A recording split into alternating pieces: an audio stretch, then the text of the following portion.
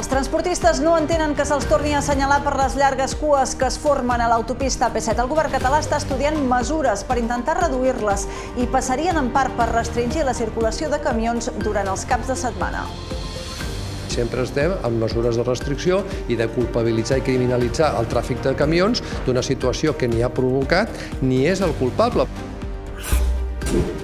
Comencen les excavacions per comprovar si el subsol del Banc d'Espanya té o no restes arqueològiques. Això determinarà els treballs per reconvertir aquest emblemàtic edifici de la Rama Nova en el Banc de la Ciència i el Coneixement. Veurem com els usuaris de l'Institut Villablanca treballaran a partir d'ara amb la realitat immersiva, una nova eina pionera a Catalunya que aporta millores a les persones amb discapacitat intel·lectual. Sabrem com es prepara la Diada del Pati que es farà aquest dissabte a Valls a partir de les 6 de la tarda. Quatre colles acompanyaran els anfitrions. Les joves ja s'ha sortejat l'ordre d'actuació. I en esports, l'Ajuntament de Tarragona habilitarà una pantalla gegant a la plaça de la Font per seguir la final per l'ascens a segona entre Nàstic i Villarreal B d'aquest dissabte. La instal·lació no afectarà l'activitat de les terrasses de la mateixa plaça. El postpartit podrà seguir-se en directe aquí a TAC12. Som els titulars d'aquest dimecres. Benvinguts, benvingudes. Comencem.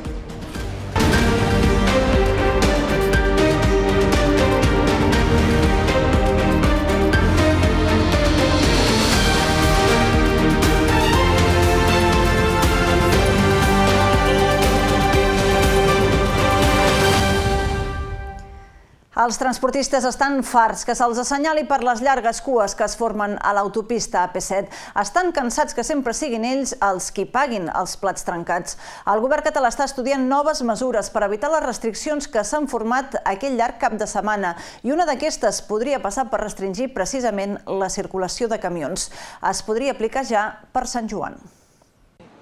Després del col·lapse patit per l'autopista AP7 en els darrers caps de setmana i especialment en la tornada del pont de la segona Pasqua, el govern català ja estudia noves mesures de mobilitat per a mirar de pal·liar-ne els efectes en els propers caps de setmana, especialment durant el pont de Sant Joan. La principal d'aquestes podria ser la restricció de circulació de vehicles pesants durant diverses hores dels caps de setmana. Una intenció de la Generalitat que ja ha provocat la reacció d'indignació del sector del transport. Diuen que les retencions ocorregudes en els darrers caps de setmana no són res nou i que ja es donaven abans de la pandèmia i de que la principal autopista del país deixés de ser de pagament. És per això que lamenten que una vegada més la solució proposada passi per criminalitzar el sector.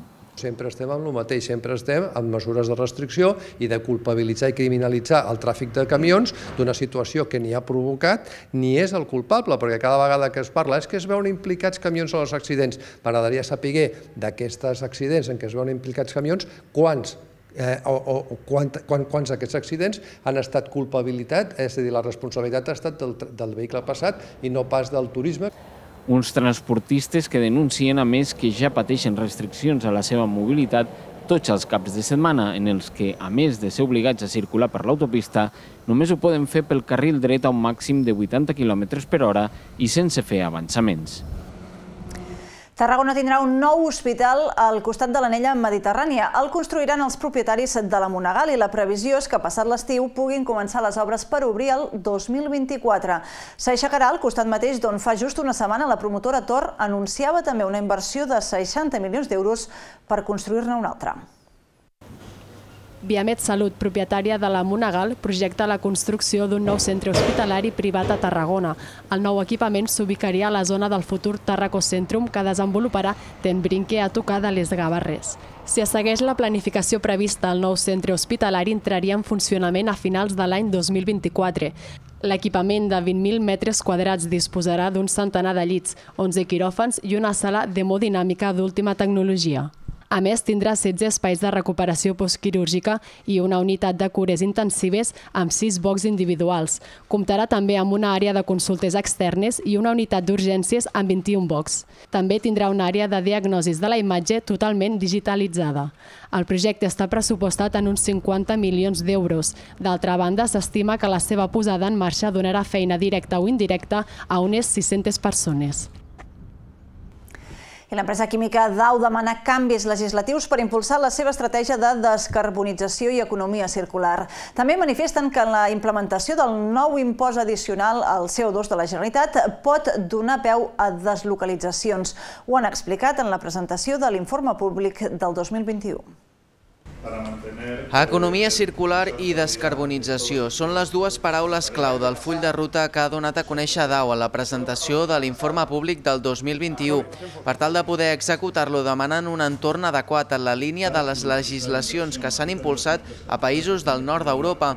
Es tracta de marcs reguladors que contemplen el que s'anomena hidrogen circular, és a dir, hidrogen generat a partir del metà residual dels processos industrials. Des de DAO es critica que l'administració pública d'aquí només està tenint en compte l'hidrogen verd, que requereix molta energia renovable. Si vull descarbonitzar el meu cràquer amb hidrogen verd, necessito 8.000 hectàrees de fotovoltaic. Parlem només d'hidrogen verd, però com el farem, no? I aquesta, per això dic que hem de ser més pragmàtics i hem de ser possibilistes, sobretot a, a curt i mig termini. No, no dubtem eh, que en 10 o 15 anys l'hidrogen verd serà el vector energètic clau. A DAO també estan preocupats pel nou impost addicional al CO2 de la Generalitat, que entrarà en funcionament a finals d'any.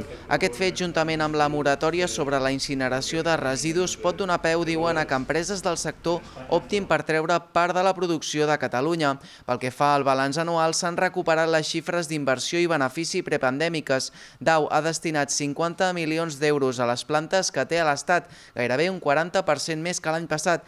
La major part d'aquests diners han servit per finançar l'aturada de 3 mesos a la unitat d'hidrocarburs del polígon nord, que ha permès introduir millores per reduir les emissions de CO2 un 8%. La xifra de negoci mundial es va costar els 1.400 milions d'euros, prop del doble del 2021, i les exportacions també han superat les expectatives, arribant al 70%. La indústria química ha sido y ha demostrado que es esencial hemos recuperado, hemos sido uno de los eh, sectores tractores de, de la economia. Tot i haver registrat un primer trimestre molt positiu, els mandataris de DAO expliquen que la falta de disponibilitat de matèries primeres o la guerra d'Ucraïna poden condicionar l'activitat fins a finals d'any.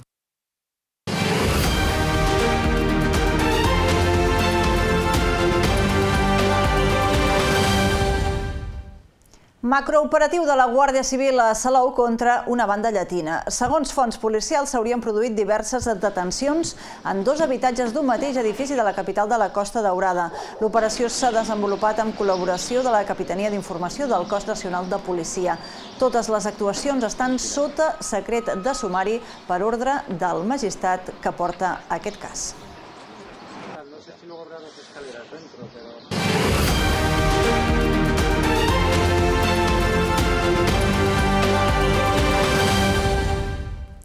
Han començat els eh, treballs que han de determinar què hi ha al subsol del Banc d'Espanya. L'Ajuntament de Tarragona ha iniciat aquesta setmana les obres d'excavació arqueològica de les zones exteriors. L'objectiu és obtenir informació sobre el subsol d'aquesta zona concreta per tal de localitzar o bé descartar la presència de restes arqueològiques que puguin interferir en l'execució del projecte del Banc de la Ciència i el Coneixement un projecte que afectarà sobretot l'interior de l'edifici, però també s'hauran de dur a terme tasques d'instal·lació de nous accessos i sortides d'emergència. Els treballs tindran una durada aproximada de 15 dies. A pocs metres d'aquestes excavacions se situa un dels nous vuit punts d'aparcaments de motocicletes que ha instal·lat el consistori tarragoní. Es tracta de donar solució a la pèrdua d'aparcaments d'aquests vehicles que va suposar la construcció del nou parc inclusiu del carrer Ixart, que va fer perdre més d'una cinquantena de places en ple centre de la ciutat. Diversos dels nous aparcaments estan situats a la Rambla Nova, dos més a la Rambla Vella i el darrer a l'inici del carrer Pau Casals. Entre tots sumaran una vuitantena de places molt necessàries en aquesta zona, sobretot en els mesos d'estiu. I no ens movem encara de Tarragona perquè el PSC proposarà al plenari que la ciutat opti a acollir una institució pública estatal. El govern de Madrid va anunciar la creació de tres nous organismes descentralitzats, encara sense destí a l'espera de la recepció de candidatures. Les futures entitats ja anunciades són l'Agència Espacial Espanyola, l'Agència Estatal de Salut Pública i l'Agència Nacional d'Intel·ligència Artificial. Els socialistes apunten que hi ha edificis i terrenys lliures i consideren que el territori té potencialitat acadèmica i industrial Territorial per aprofitar la convocatòria que va arrencar el març per Real Decret. Serà el Consell de Ministres, encara sense data, qui prengui la decisió després de l'estudi d'una comissió consultiva. Ara esperen que el Saló de Plens accepti de manera unànima la moció i que sigui el consistori qui es postuli oficialment. Creu el PSC que cal acostar a aconseguir el suport de la Generalitat. Crec que podem doncs, tenir moltes més aspiracions per la nostra ciutat i la generació de nous llocs de feina i crear l'ambient propici doncs, perquè hi hagi molta més activitat econòmica, que això al final acaba res, resultant en més ingressos per la ciutat, doncs crec que també és importantíssim.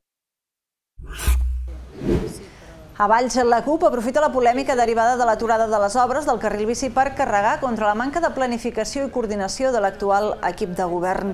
Adverteix la CUP que l'habilitació del carril bici s'ha realitzat sense tenir un criteri clar de quin ha de ser el pla de mobilitat de la ciutat. Critiquen que no hi ha hagut cap procés de debat previ per definir-ho. A més, asseguren que és una mostra més de la manca de coordinació i comunicació entre els socis de govern, entre Junts i Esquerra. Aquí es denota també el, la, la manca de comunicació, que ja fa temps que, que, que pensem que existeix, la manca de comunicació entre Esquerra, Compromís per Valls i Junts per Valls. Creiem que hi ha una crisi important i que, i que hi ha una manca de comunicació. I ja no parlem de les regidories, que el, el treball transversal que sempre parla de la, la CUP no? De, ja no existeix, això ja ho sabem que no existeix, però ara ja ni, la, ni, ni els regidors ni les regidories en si eh, es parlen. Per tant, evidentment, eh, el, el, la dificultat de tot plegat, qui ho paga és la ciutadania.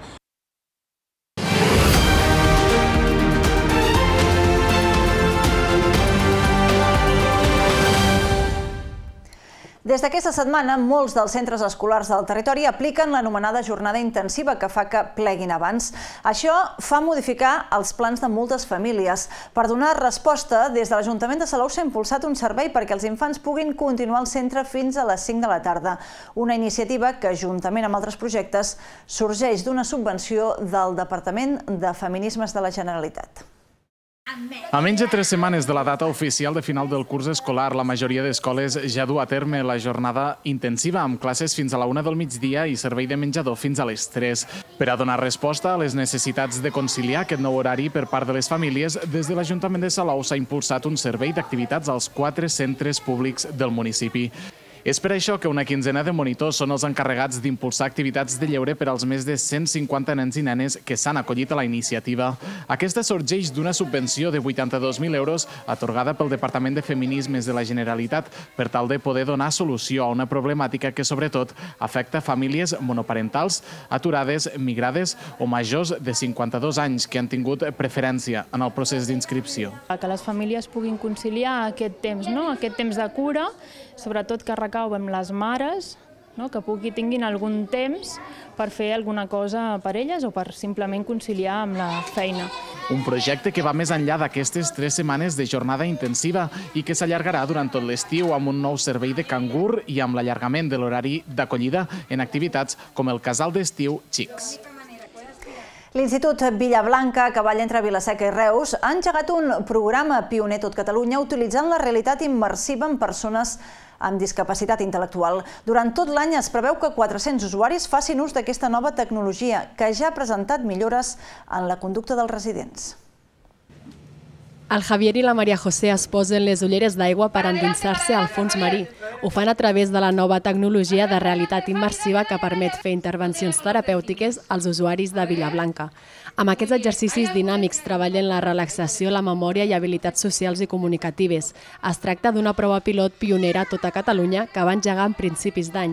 Els resultats obtinguts fins ara són molt satisfactoris. Aquesta metodologia ha despertat canvis en l'àmbit emocional i cognitiu dels residents. També s'han observat millores de conducta i llenguatge.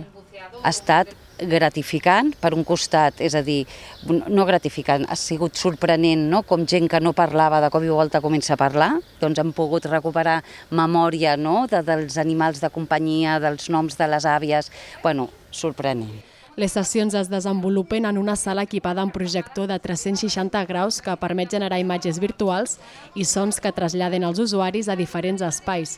En total, les 500 persones amb discapacitat intel·lectual i residents al centre podran gaudir d'aquesta iniciativa. La prova pilot tindrà una durada de 10 mesos i es preveu una segona fase on l'equip professional de Villablanca generi continguts propis que s'adaptin encara millor a les necessitats de cada usuari.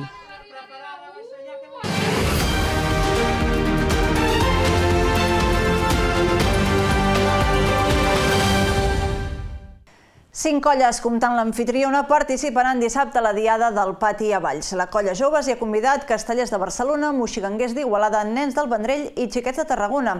La Diada, que torna després de dos anys, començarà a les 6 de la tarda. Els castells tornaran al pati després de dos anys. La Joves hi torna a organitzar la seva diada una vegada han quedat enrere les restriccions pandèmiques. A banda dels anfitrions hi actuaran quatre colles més. Ho faran per aquest ordre, que es va sortejar ahir. Obrirà plaça a la colla Joves.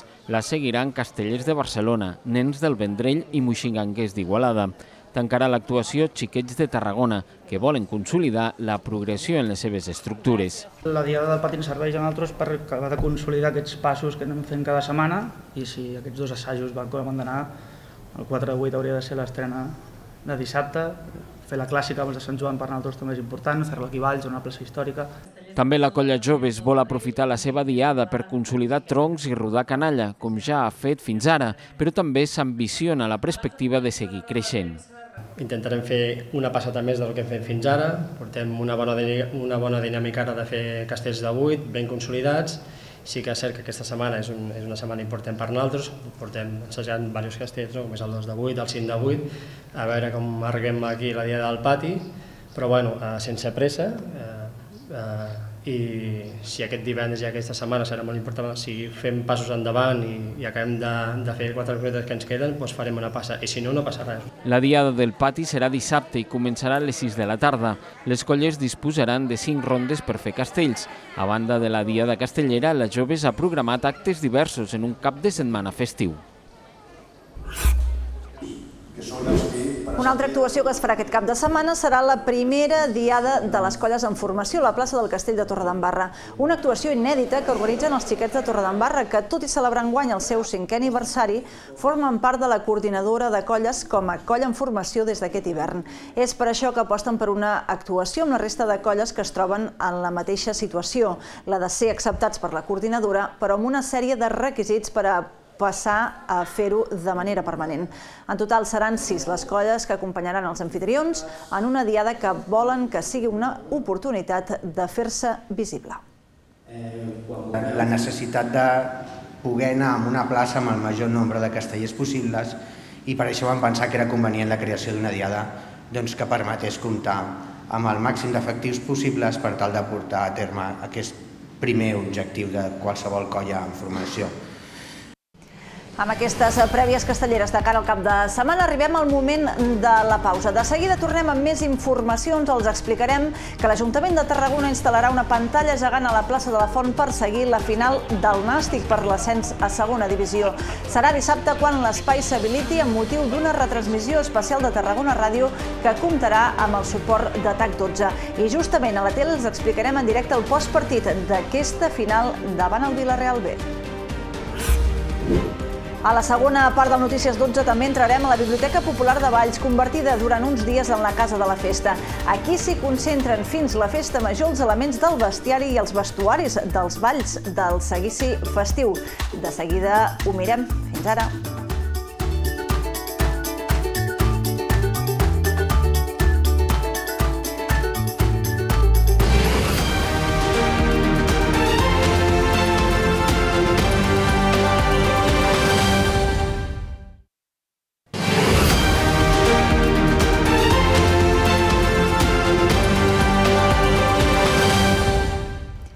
L'Ajuntament de Tarragona habilitarà una pantalla gegant a la plaça de la Font per seguir la final de la promoció d'ascens a segona entre el Nàstic i el Vilareal B.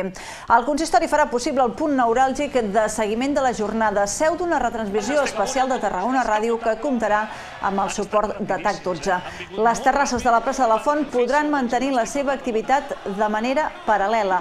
El partit arrencarà dissabte a les 9 del vespre i podria ser l'avançala del primer ascens grana des del 2015, darrer cop que l'equip va tornar al futbol professional. Des de TAC 12 podrà seguir-se també el postpartit en directe mitjançant connexions amb l'estadi de Balaïdos s'hi puguin apropar. Gorkaz corre Pablo... Que la veterania desequilibri la final, la mitjana d'edat del Nàstic és 6 anys superior a la del filial del Villarreal. Poc fet a finals per pujar com la d'aquest dissabte Balaïdos. La plantilla grana creu que això i l'espectacular ratxa positiva són aspectes que rimen al seu favor. El DNI no marca gols, però suma vivències, bones i dolentes, totes elles útils de cara a un darrer partit per l'ascens a segona divisió. Dels 28 anys de mitjana del Nàstic als poc més de 22 del Villarreal B, l'únic filial que va assolir el passi a la promoció de Galícia i el planter més estable d'Espanya, probablement de l'última dècada. Ara bé, hi ha dies en què la veterania és especialment útil i pot ser un factor de gestió dels 90 o 120 minuts de joc interessant per als grana. Es un partido, es la final y yo creo que lo más importante de partido va a ser el el aspecto mental y nosotros la, la gran suerte que tenemos que tenemos jugadores muy experimentados que ya han jugado este tipo de partidos y yo creo que esto puede ser un punt a favor nostre. Mentre que el Nàstic registra 5 victòries consecutives, el Villarreal B va acabar la fase de grups amb 3 partits sense guanyar, ratxa trencada gràcies al triomf per 3 a 1 davant el Logroñés a semifinals. El vestidor de Raúl Agné parla literalment de conjura durant l'últim mes per fer possible la remuntada que l'ha situat a un sol resultat positiu, de tornar al futbol professional. La derrota en Sabadell fue un punto de inflexión. Después de ese día el equipo se conjuró, dijimos que si queríamos hacer algo, si queríamos quedar como en la historia del Nastic, teníamos que ganar seis partidos y es lo que, lo que vamos a hacer, lo que queremos hacer y, y fue un poco como conjura del equipo de que lo pasado, pasado está. Mentrestant, el club ja organitza el desplaçament en bus fins a Vigo. Es finançarà més de la meitat del cost total del viatge i l'entrada i els interessats podran anar-hi pel preu de 30 euros. La inscripció cal formalitzar-la presencialment a les oficines del nou estadi de Tarragona. El Pep Garcia i el Ricardo Mandrà, membres del Club Ciclista Camp Clar, ja han iniciat el camí de Sant Jaume des de Tarragona. Els dos ciclistes han sortit des de la plaça de la Font, on l'alcalde Pau Ricomà els ha fet entrega de la bandera de Tarragona per lluir-la en el seu recorregut. Els esportistes volen donar a conèixer l'Associació pel Càncer Infantil, la FANOC, i recollir fons per a la seva lluita. Dividiran els prop de 1.200 quilòmetres en 11 etapes de 100 quilòmetres de mitjana. D'aquesta manera esperen tornar a Tarragona el 18 de juny. it. Altafulla reunirà el BTT infantil català. 200 ciclistes disputaran aquest diumenge a l'ermita de Sant Antoni al Campionat de Catalunya de bicicletes tot terreny. És el primer cop que Altafulla protagonitza la prova i després de fer-ho l'any passat en categoria absoluta. Hi haurà participants d'arreu del país i alguns dels clubs ja han entrenat prèviament a la zona boscosa del paratge, on s'habilitaran circuits d'entre 800 metres i 2 quilòmetres i mig, que s'adaptaran a nens i nenes d'entre 5 i 13 anys. El Bike Park Costa Daurada de Torredembarra n'és l'organitzador i la col·laboració directa amb l'Escola de Ciclisme d'Altafulla permetrà que hi hagi quatre representants del conjunt local. La idea és tenir l'oportunitat d'engegar trobades periòdiques al municipi. Un campionat de Catalunya que s'allargarà des de les 9 del matí fins a dos quarts de dues del migdia amb sortida i arribada a la mateixa ermita una mostra més de la implicació del municipi en el, en el món de l'esport eh, del caràcter punter d'Altafulla en el, en el món de l'esport i esperem, doncs, eh, com deia, que eh, aquest, eh, aquesta mena d'actes doncs, eh, es continuïn succeint. La singularitat del turó que tenim a l'ermita ens dona un terreny espectacular i perfecte per la pràctica del mountain bike.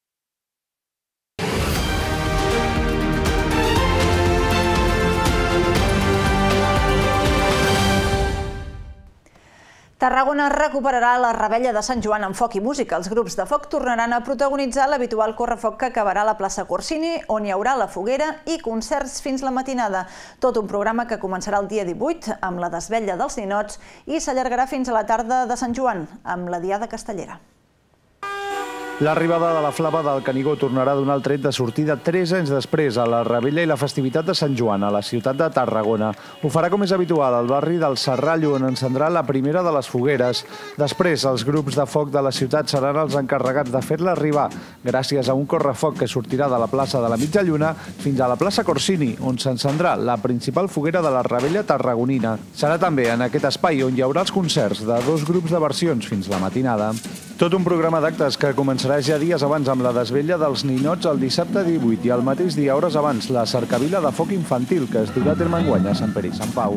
També la celebració de la Diada de Corpus el dia següent amb la tradicional professor i la celebració del Dia Internacional de la Música dimarts 21 amb una cantada coral a la plaça de les Cols.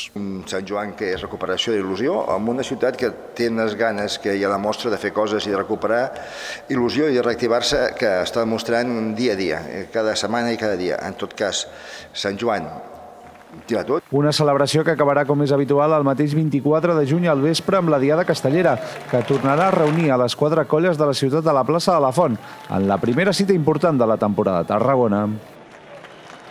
I Sant Joan s'escriu amb majúscules, a Valls, on ja escalfen motors per la festa major, i és obligatori passar aquests dies previs per la Biblioteca Popular. Les entitats culturals ja exposen conjuntament tots els elements del bestiari i el vestuari dels balls del seguici festiu. La Casa de la Festa serà punt de visita durant les properes setmanes per molts escolars de la capital de l'Alcamp. Nosaltres ens acomiadem, doncs, amb les imatges d'aquesta Casa de la Festa. Que vagi molt i molt bé. Adéu-siau. Fins demà.